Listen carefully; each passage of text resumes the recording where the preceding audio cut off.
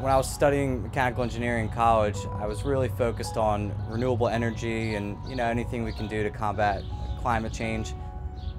Back in 2017, I was riding my bike back from Temple, saw that uh, they needed some help with their greenhouse. It was a little run down, and we were about to start our senior design project, and we wanted to actually build a greenhouse. So we ended up collaborating, and uh, our project began.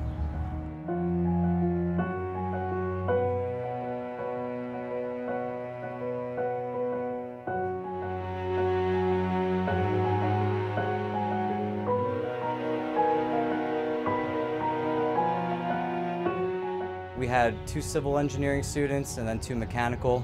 We put insulation in to keep in the heat a little better in the winter. We also put new plastic everywhere.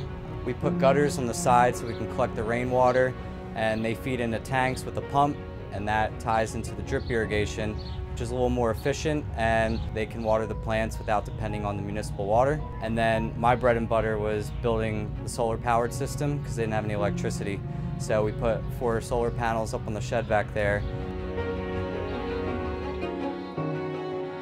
I still live by in uh, Northern Liberties, right around the corner. Always pass by here, especially this time of year. It's great to see everything blooming. See the structure still here, people still getting involved. They have a farmer's market every week. They have affordable, delicious organic produce that they sell.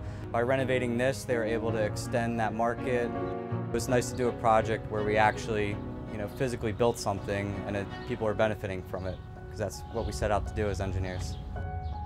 When you're in a space and you're there every day and you're in charge of its functioning, you know, you have a million ideas of how it can be better. And so seeing something like improving the high tunnel come to fruition is just so satisfying and surreal.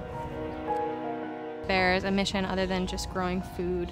There's the mission of educating people around here that are interested and want to learn, being able to provide healthy, nutritious food where there's not really other options fixing up this greenhouse gives them a little more manageable climate so they can uh, you know achieve some of this and, and really show people that you can do anything out of just the little you have.